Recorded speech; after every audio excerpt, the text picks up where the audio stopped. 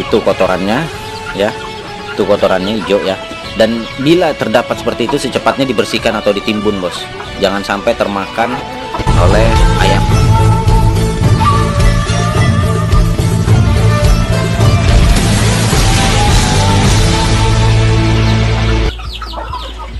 Assalamualaikum warahmatullahi wabarakatuh.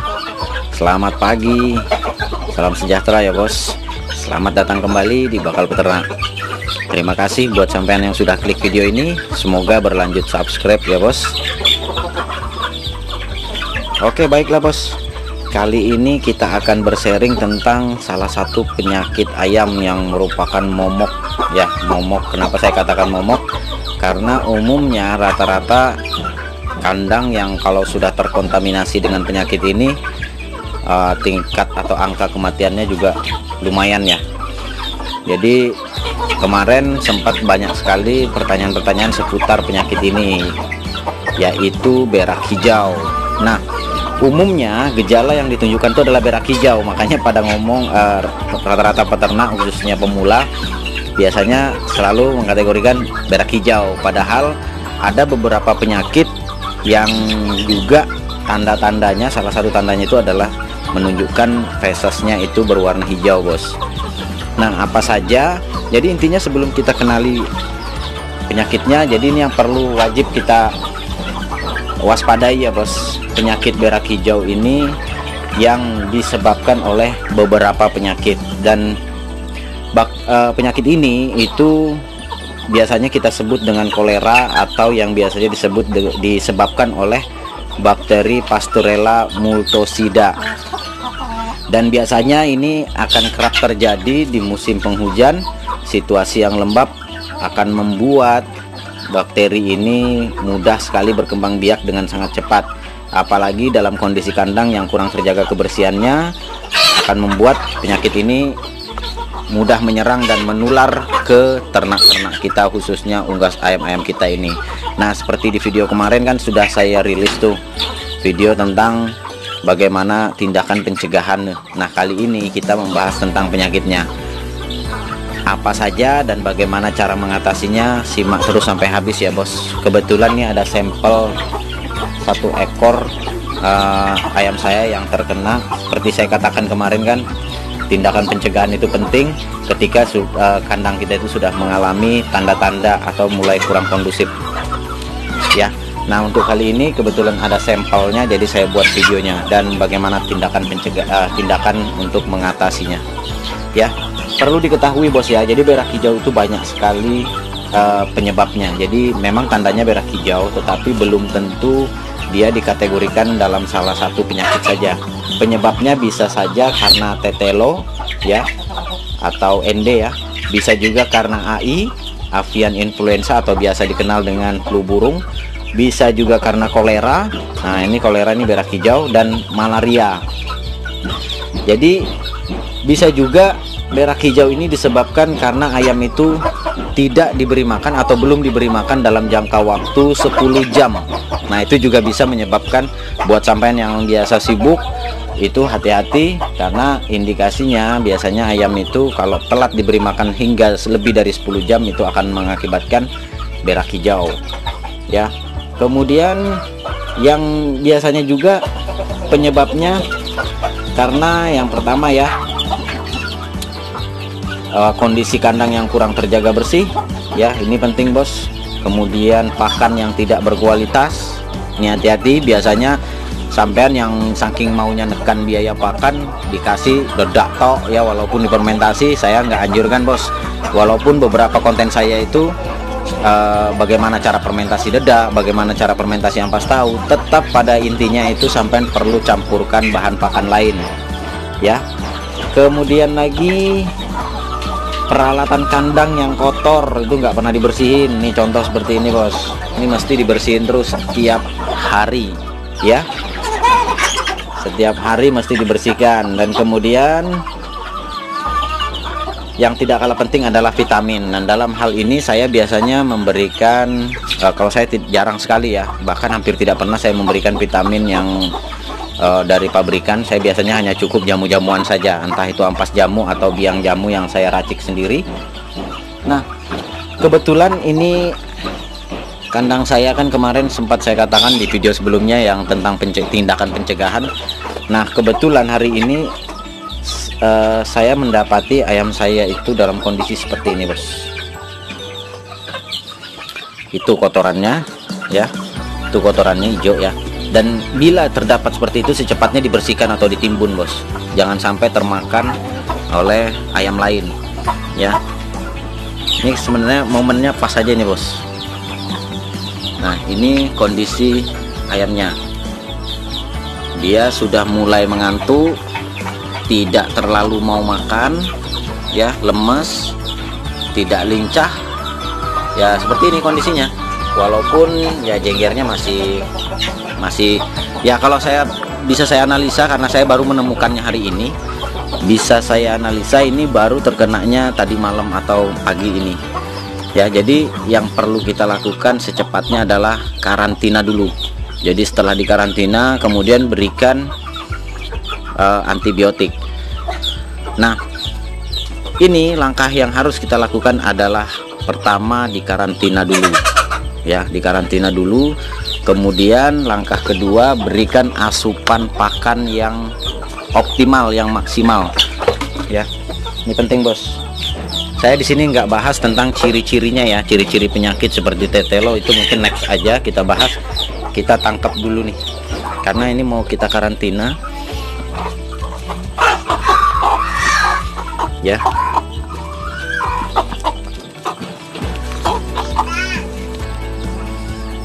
Nah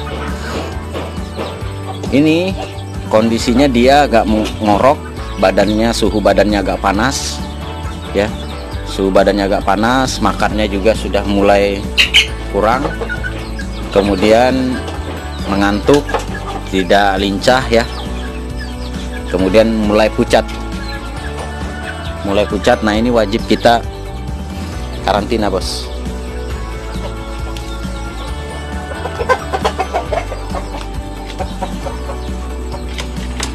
Secara kebetulan sekali kita punya kandang karantina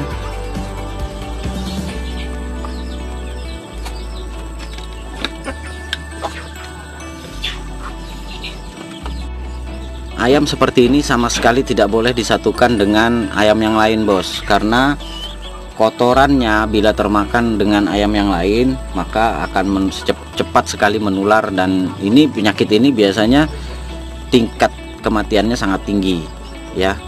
Jadi mending kita korban satu ketimbang mengorbankan yang lain. Tetapi untuk menangani penyakit yang seperti ini ini bukan berarti tidak bisa sembuh ya nah ini seperti saya katakan tadi tanda-tanda yang ditunjukkan adalah dia mulai ngorok kemudian nafsu makannya berkurang sama sekali suhu badannya juga panas ya. Kemudian dia mulai mengantuk dan bulunya mulai acak-acakan seperti ini. Seperti itu. Tindakan yang perlu kita lakukan adalah pemberian nutrisi pakan yang tinggi. Kemudian yang kedua kita berikan support jamu-jamuan dan utamakan itu lebih banyak kunyit sebagai antibiotiknya kunyit bawang putih dan jahe. Ya beri gula merah itu untuk stamina nya oke baiklah bos. Jadi ini adalah uh, ramuan herbal yang sudah saya buatkan. Uh, ini terdiri bahannya jahe kunyit bawang putih. Kemudian saya beri campuran sedikit temulawak untuk memancing nafsu makannya dan kenapa hijau? Ini tadi saya beri klorofil jat hijau daun untuk tambahan vitaminnya. Kalau klorofil nggak penting bos. Nggak penting ada atau nggak ada nggak masalah. Jadi yang penting tadi empat bahannya adalah bawang putih kunyit eh, jahe dan ada sedikit temulawak untuk memancing nafsu makan. Ya jadi yang terpenting dari penyakit ini penyakit ayam ini ya. Ini kalau saya bisa lihat ini mengarah ke malaria. Ya setelah saya perhatikan jadi gejala dan tanda-tandanya adalah malaria. Nah ini sebaiknya diberikan banyak antibiotik. Nah dalam hal ini kita menggunakan kunyit dan bawang putih. Langsung kita ini aja bos. Langsung kita spetkan aja ini. Jadi tandanya suhu tubuh ayam agak panas kemudian kaki bergetar ya gemetar.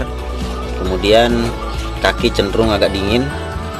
Dan ini ada ngorok ngorok di dalam ya. Jadi biasanya kan ngoroknya itu di sebelah sini. Ini ngoroknya agak dalam suaranya. Kemudian pucat lemas nggak mau makan. Kita spet dulu ya bos. Nah di sini saya menggunakan spet yang ukuran 3 mili ya 3 mili. Dan ini sudah dipuasakan. Nah jadi di sini kita tidak menampilkan adegan kekerasan pada binatang ya bos. Intinya beginilah tujuan kita ini untuk uh, pengobatan sebenarnya. Jadi tidak ada unsur kekerasan atau apa enggak ada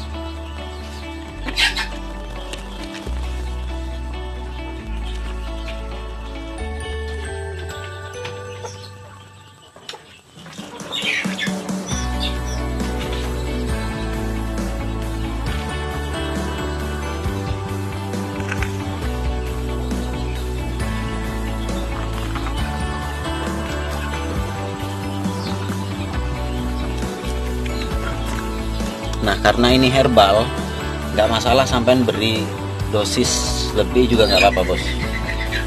Semakin banyak sebenarnya semakin baik.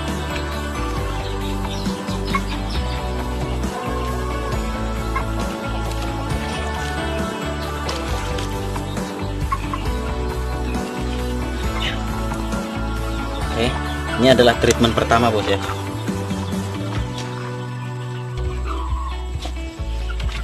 dan sisanya ini boleh untuk sampean berikan untuk minumnya. Ya ini setelah kita treatment tadi sudah mulai mau makan. Ya.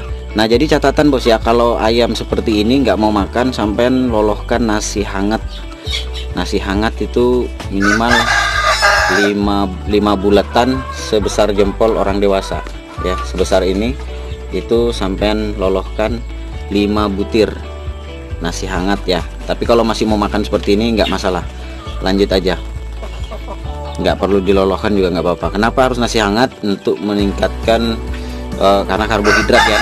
Supaya ayam yang sakit tadi bisa ber, bertambah energinya. Oke kita pantau terus ya bos. Simak sampai habis sampai kita lihat apakah ayam ini bisa kita selamatkan atau enggak ya kemarin saya nggak sempat ini apa e, menunjukkan ininya karena cara dan ininya sama aja bos ya. Kita spetkan kalau saya sih tiga kali pakai e, suntikan yang 3 mili.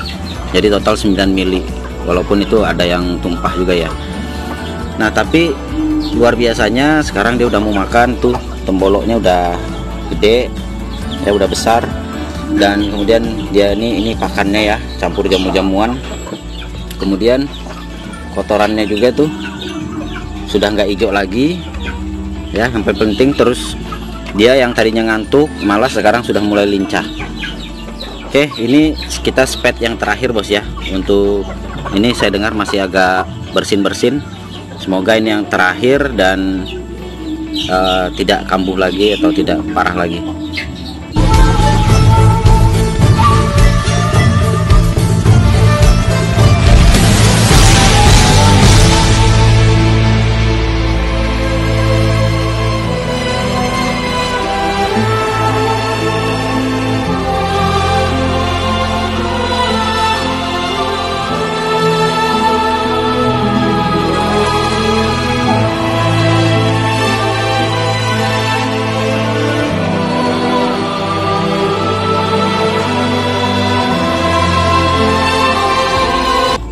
ini sudah treatment sore dan semoga ini yang terakhir bos ya. Ini mohon maaf kemarin saya nggak dua hari terakhir ya. Jadi hari pertama saya beri saya sempat video dan hari kedua ketiga nggak sempat karena dalam kondisi hujan. Nah ini hari keempat dos udah nggak loyo kemudian muka juga sudah mulai memerah dan yang pasti dia sudah mau makan. Terlihat dari temboloknya. Oke kita lihat terakhir besok bos ya. Baru saya rilis videonya.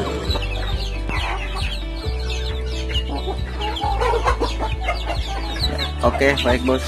Ini di hari kelima saya sudah nggak berikan ramuan lagi nggak saya treatment uh, saya spek lagi ya ramuannya.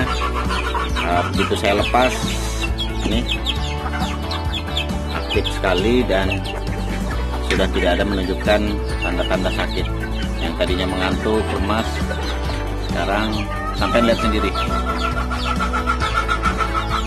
Oke bos. Semoga video kali ini dapat membantu tetapi perlu sampai ingat bos ya. Jangan sampai terlalu parah karena kalau sudah parah jadi banyak ketika saya memposting video tentang bagaimana mengatasi penyakit ayam ini itu. Ketika ayamnya mati pada klaim ya ayamku mati pakai cara ini. Jadi sebenarnya bukan karena caranya bos. Tetapi karena pertama lambat penanganan. Lambat penanganan kemudian yang kedua karena ya itu tadi uh, kurang telatenan dari peternaknya itu juga jadi salah satu penyebab. Oke bos. Semoga terinspirasi dan terus memotivasi sampai untuk terus beternak ayam skala rumahan mandiri semoga sukses. Sampai jumpa di video-video kita berikutnya. Assalamualaikum warahmatullahi wabarakatuh. Salam sukses. Sudah sehat bos